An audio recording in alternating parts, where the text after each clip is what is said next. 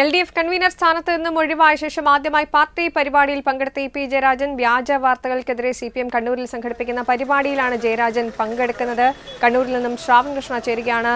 Shravan E P വീണ്ടും party പരിപാടികളിലേക്ക് വരുന്നതിനെ എങ്ങനെ കാണണം? ഇതൽ പരിഭവം മറന്ന് എ പി ജയരാജൻ ഇപ്പോൾ സി പി എം പരിപാടിയിൽ പങ്കെടുക്കുകയാണ്. കഴിഞ്ഞ ഓഗസ്റ്റ് മുപ്പതിന് ഈ എൽ ഡി എഫ് കൺവീനർ സ്ഥാനത്ത് നിന്ന് ഒഴിവാക്കിയ ശേഷം അദ്ദേഹം പാർട്ടി പരിപാടികളിൽ പങ്കെടുത്തിട്ടേ ഉണ്ടായിരുന്നില്ല.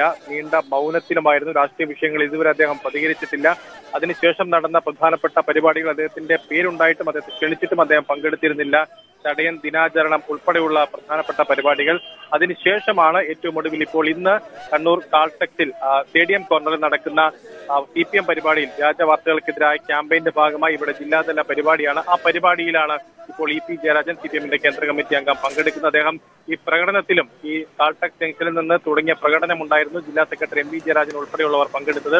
ആ പ്രകടനത്തിനൊപ്പവും ഇ പി ജയരാജൻ ഇങ്ങോട്ടേക്ക് നടന്നെത്തി.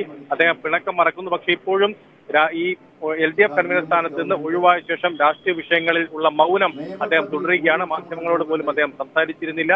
ഇപ്പോഴും അതെ ഈ കാര്യങ്ങളൊന്നും പറയാൻ പ്രതികരണം നൽകാൻ അദ്ദേഹം തയ്യാറായിരുന്നില്ല. ഇപ്പോൾ ഏതായാലും ഈ പരിഭവം മറന്ന് പാർട്ടിയോടുള്ള പരിഭവം മറന്ന് ഇപ്പോൾ പാർട്ടിയുടെ ഒരു പരിപാടിയിൽ ആദ്യമായി എൽ ഡി എഫ് കൺവീനർ സ്ഥാനത്ത് നിന്ന് ഒഴിവായ ശേഷം ഇ പി ജയരാജൻ പങ്കെടുക്കുന്ന പ്രത്യേകത അദ്ദേഹം ഇപ്പോൾ ഇവിടെ സംസാരിക്കുകയാണ് ചെയ്തത്.